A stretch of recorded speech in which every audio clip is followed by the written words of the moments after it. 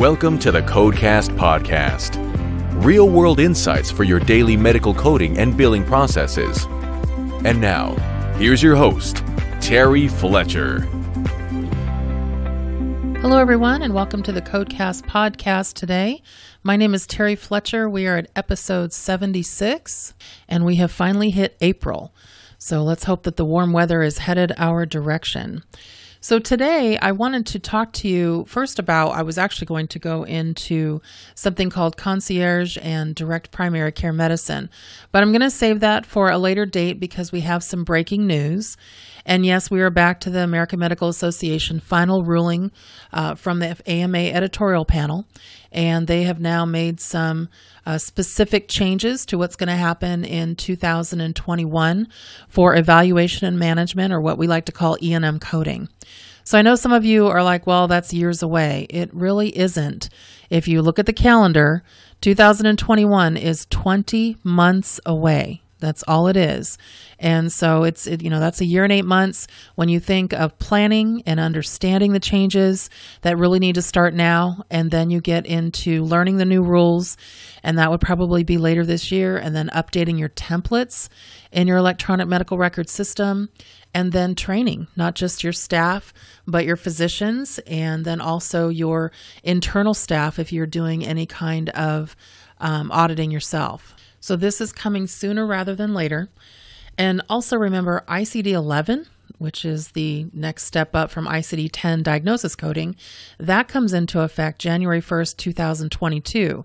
So just a year later. So you really have to as I like to call, we need to get our house in order and understand what it is that we need to prepare for because sometimes it just comes in so fast and smacks us right in the face. And time flies in healthcare. So we want to really get started and take a look at what was finalized this week. Now, I, you know, when I 10 came out, I know a lot of people were like, oh, it's never going to take place, it's never going to happen. And it actually was delayed several years. But there is such a push to change the E&M guidelines at this point. And in, as you know, I'm an auditor, so I'm still auditing on 95 and 97 guidelines for 2019. I'm going to still be doing that for 2020. We had a little bit of a, a tweak for 2019 that I'll head into next year as well. But the scary thing here, or I should say, I don't want to I don't want to scare you, so that was probably a bad choice of words. The thing that here that you need to really understand is that when I gave you breaking news last year of what the proposal was for 2000 and what was going to be for 2019, but they pushed it to 2021 for the E&M services, you know, it was such an overhaul, but it only was of the office and other outpatient services. So what we do in the office setting. But the AMA CPT editorial panel decided, you know what, let's just overhaul the entire documentation guidelines. So it's not just going to be office, it's going to be any place of service that we're using certain codes. So I'm going to get into this and we're going to take a look at what the final ruling was and I also want you to make sure that you, you listen carefully because there's a lot of inaccurate information out there. And so let's let's not get caught up into what you think is accurate. This is what is absolutely accurate from, and I'll give you some references on exactly what the panel said. I was on the call, made sure I took notes, listened carefully. This is going to be a huge rollout, so we want to get started on the right foot. But first, Codecast Podcast is brought to you by Simple Health Radio. Join Dr. Emran each week on his radio podcast to discuss current health topics. SimpleHealthRadio.com in Houston, Texas. Okay, so what is going on with the breaking news? So AMA is on track to revise the E&M codes, and then the you know, the code set new documentation guidelines. And what was considered first to only target the office and other outpatient visits now has been expanded to impact the entire E&M section of CPT. So we weren't prepared for that. We were sitting there saying, well, it's going to be tough because we're going to have to do one thing in the office and outpatient setting and then something else in the hospital or skilled nursing and so forth. But now they're saying, well, okay, you guys complained about it, so now we're going to overhaul the entire CPT uh, evaluation management guidelines. So now we're just like, great. So let me explain how this works. So the AMA CPT editorial panel, they approved many changes to the E&M documentation and coding guidelines. If finalized, so it's approved and now it has to go through a finalization a protocol, not just with AMA, but also Medicare. They always have a big voice in everything. The changes will shift the way medical practices are going to select their codes, both in the office and also facility visits, as soon as January 1st, 2021. So here's what was approved, and then I'll kind of explain as we go.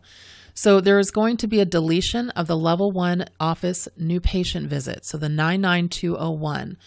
Uh, for Medicare, claims for code 99201 represented only uh, 0.15% of all 266 million outpatient claims in 2017. So, and it had a 37% denial rate versus an overall E&M denial rate of about 8%. Okay, so that's why they're saying this code is really inappropriate. The thing is is that the 201 has a place, but so many offices used it for the wrong thing. So it's a quick check of a new patient, which almost always the patients can get up to a level 2 based on the guidelines. So they are deleting the level 1 new patient office visit. And then understand the history and exam change before you proceed training on the new guidelines. I heard this twice, not just at a different uh, webinar, but also um, from a speaker who was talking on this. And I had to pull them back and say, that's not accurate. You need to rephrase how you're saying it. So listen carefully to the history and exam change. So AMA's panel agreed that to remove the history and exam as key components for selection of the E&M level of service. So what that means is that the history and exam would not be used to score a visit for an audit. So you're not going to have to count bullets, you're not going to have to count how many review of systems, HPI elements, um, anything like that, past family social history. However, and this is what's really important to understand, the provider would still be required to document these elements that they were performed in order to report the office visit code at all. So you still have to do a history and an exam, and it should be part of the documented record. It's just not going to be used with scoring. So I like to kind of um, relate this, and this is this is kind of a stretch when I'm how I'm kind of relating this and and giving you kind of a cross walk over to it. So there's a service called moderate sedation, and moderate sedation is when a physician is supervising a patient who is getting, uh, let's say, like Versed or fentanyl or Benadryl for a minor procedure. Well, of that mo- moderate sedation, there is uh, intra-service time, which is the only time that you can count for your total supervision time for the physician to be able to code for supervising uh, this moderate sedation administration. But there's also pre-service time and post-service time that's required. And the pre-service time basically is the H&P, how did the patient um, you know, do in their physical, being able to tolerate the medication. Is there any interactions? Was there any issues with, you know, breathing, lungs, all that? So that's usually done by a nurse and the doctor signs off on it. Then there's inter-service time, which is when the doctor's face to face and they're in there supervising and performing their procedure and then they will say if they need more or less of the drug. And then the patient then is brought out which is the post-service time or post-service work they call it.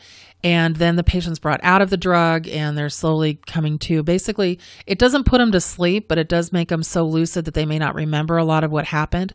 Well in that pre-service time and that post-service time that's not counted even though required as far as time. And so and you only get paid in 15 minute increments. Okay so that's back to the E&M uh, information with regard to history and physical. So the history and exam still has to be done, and they're still going to require the 95 or 97 guidelines, but it's not used in scoring.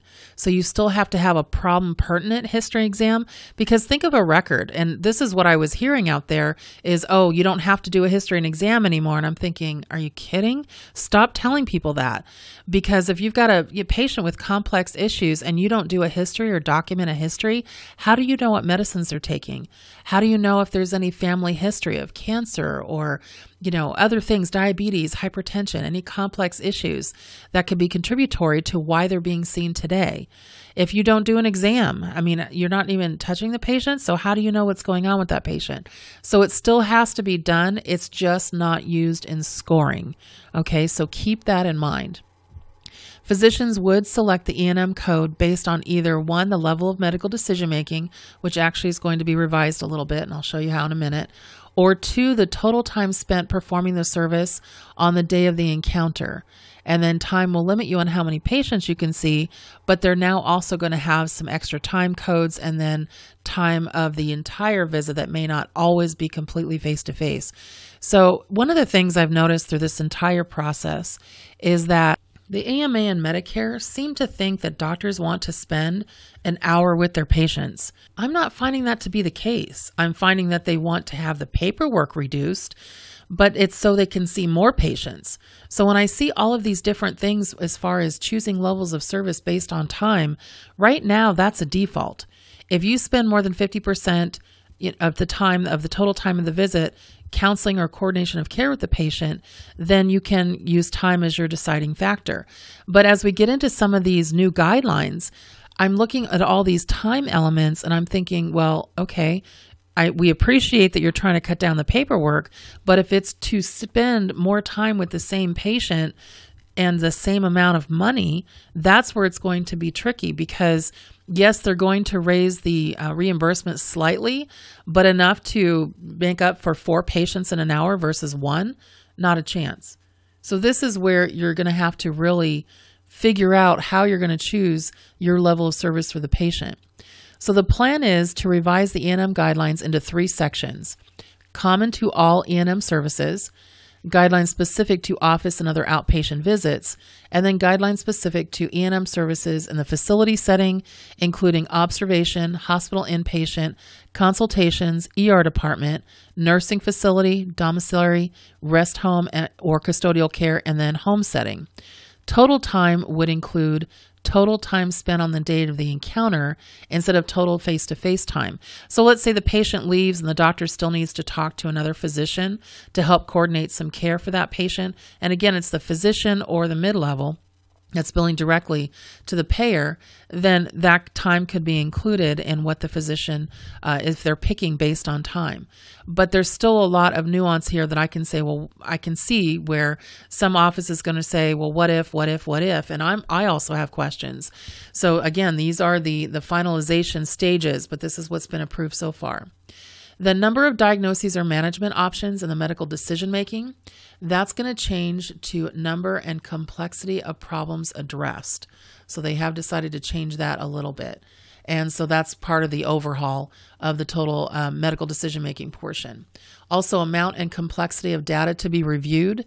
This would become amount and or complexity of data to be reviewed and analyzed and then the risk of complication and or morbidity or mortality. This now becomes risk of complications and or morbidity or mortality of patient management. So some of that is going to be tightened up to be able to choose a service a little bit easier on if you're picking based on uh, medical decision making also, among the additional proposed changes, these were not finalized yet, but these are proposed. Prolonged services, so right now the 99354 and 99355, an additional 30 to 74 minutes above and beyond the typical time spent with the E&M code right now. These are going to change to say, because now they say in office or other outpatient, they're going to exclude them from reporting of office or other outpatient because now a new code, another 99 code for prolonged care is going to be added to report prolonged office or other outpatient E&M service. It's going to be a generic code uh, for that extra time. But again, listen to this. This is based on time. So now, if we're adding another code, we're probably now at an hour 15, an hour 30 for a patient. And so it, it's just, oh my gosh, I'm, I'm just looking at this time and thinking, I just don't know if the doctors are going to buy into this as a whole. And then an interesting inclusion AMA proposes to add guidelines for reporting time quote, when more than one individual performs distinct parts of the E&M service. So I want them to clarify, and I asked this on the call, uh, but they were ready to end, so they didn't get to it yet. But this would need to be clarified as to what constitute the constitutes the clinical team as part of the encounter. because they quoted and said when one individual Okay, well, who is that? Does that mean when the scheduler comes in and also talks to the patient about scheduling their surgery, or when the medical assistant comes in, when the nurse comes in? Who is this other individual? Is it a clinical person, an administrative person? I don't want to guess and I don't want any assumptions made on what this could be. So we have put that out there to AMA and said, please clarify as to what that constitutes this individual. Also, there's the summary changes where you can uh, see the different sets of guidelines as well the new definition of terms, new medical decision making table, uh, and definitions of total time associated with the outpatient codes. Make sure that you go to the AMA website and you have to sign in as a member to see it. Um, to be able to, to view it. So if you're not a member, you're basically kind of holding yourself out to dry there. Hopefully, a physician practice, your physician does have um, membership for any of that. So that is the breaking news. And I know it's coming into effect, you know, 2021, but think about that. Everything we know now about coding is going to be overhauled and changed. They say they're only keeping about 25% of what we know now. So I don't know about you, but as much as I really appreciate the ICD 10, you know, manual and how specific it is, in ICD 9 I was I was using for what 30 years so now all of a sudden we had something different come into play in 15 and now we're actually going to be even dealing with ICD 11 so they're constantly revising and updating and uh, we'll see how this works. We'll see exactly what happens with that. So I want to take a minute for my coding question and this week my coding question is orthopedic from one of my Kansas subscribers and it says, Terry, we have the notes indicate that the orthopedist performed an elbow x ray examination along with a two view forearm x ray. I'm not sure about the elbow x ray code because I see that in the descriptor, some elbow x ray codes include arthrography. What is arthrography and how should I code this encounter? Okay, so just a little bit of a, a coding uh, knowledge here. So coding is easy enough for the forearm x-ray. So on the claim, uh, you're going to report this 73090, and that's the radiological examination forearm two views.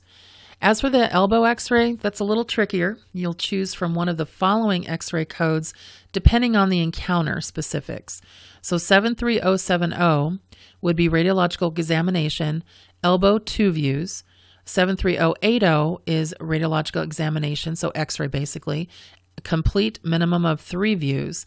And then 73085, that's the x ray elbow arthrography, radiological supervision interpretation.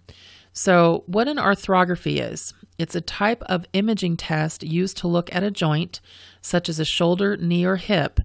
It may be done if standard x rays do not show the need, uh, needed details of the joint and structure and function. So during an arthrography, a long thin needle is used to put contrast dye into the joint and a series of x-rays is taken with the joint in various positions. X-rays use small amount of radiation to get pictures of the inside of the body, and sometimes air is used as the contrast substance when regular contrast cannot be used. Okay, so you want to look for that needle injection with contrast for any arthrography X-ray. This week, I'm actually going to do two questions because this came in from uh, another one of my clients, a Coding Corner client, and I thought this was a, an important time to do this. Also, because I've had a specific client of mine ask to do some training videos for them, which I appreciate. And so, one of the topics was critical care. So, I thought we'd get our feet wet in that real quick. So the question comes in from one of my West Virginia subscribers, and it says, Terry, I'm new to coding. Can you help me understand what constitutes as critical care? Also, I once read that there is a specific list of services bundled or included into the 99291 code, but I don't remember what they are. Can you clarify for me? So, critical care codes 99291, critical care, evaluation and management of a critically ill or critically injured patient, 30 to 74 minutes, or and 99292, that's each additional 30 minutes above and beyond the first code. This occurs when a physician or other qualified healthcare professional directly provides medical services for a critically ill or critically injured patient. So, as always, the documentation must support the medical necessity of the critical care service. And to qualify for critical care, here are your requirements that need to be met. So, the patient must be critically ill or injured, have vital organ failure, or a life threatening condition.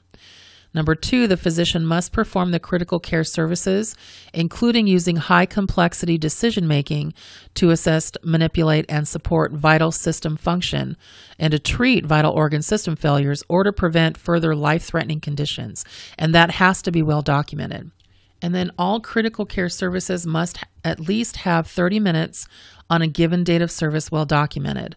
The time can be continuous or intermittent, but for any given period of time the physician spends providing critical care services for a patient, they cannot provide services to any other patient during that same period of time and you cannot report the time the physician spends in activities that occur outside the unit or off the floor as critical because the physician is not immediately available to the patient.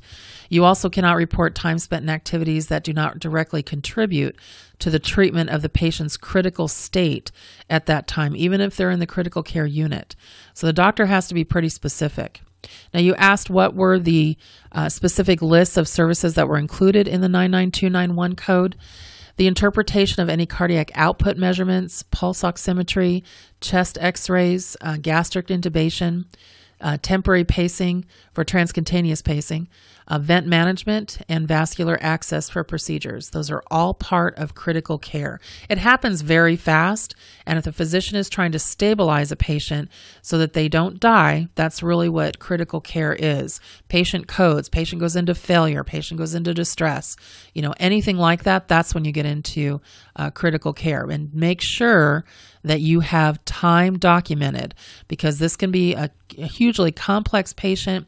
They're in a critical state. Doctor doesn't give you time. You have to default back to the highest level E&M service for an inpatient at the uh, rounding visit level, which is probably going to be 99233.